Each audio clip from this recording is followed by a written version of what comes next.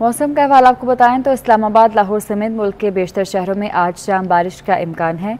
रावलपिंडी, मरी, अटक, चकवाल जहलम मियावाली में बारिश मुतव है। महकमा मौसमियात का मजीद क्या बताना है, रुजीना अली से जानते हैं। जी, रुजीना, बताइएगा।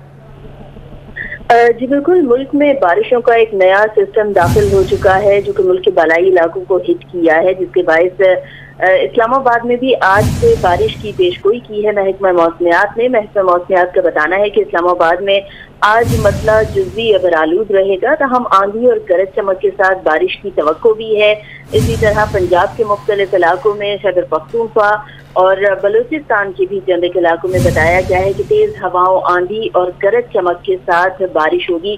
तहम सिंध के बेशतर इलाकों में अब भी मौसम शदीद गर्म और खुश्क ही रहेगा। जबकि जो नॉर्दर्न एरियाज़ हैं वहाँ पर भी बारिश की पेशगोई की गई है। चूँकि दर्जा हरारत कुछ दिनों से बहुत ज़्यादा है तो सभी को बस इंतज़ार है कि बारिश हो जाए और मौसम खुशगवार हो जाए। ठीक है बहुत शुक्रिया।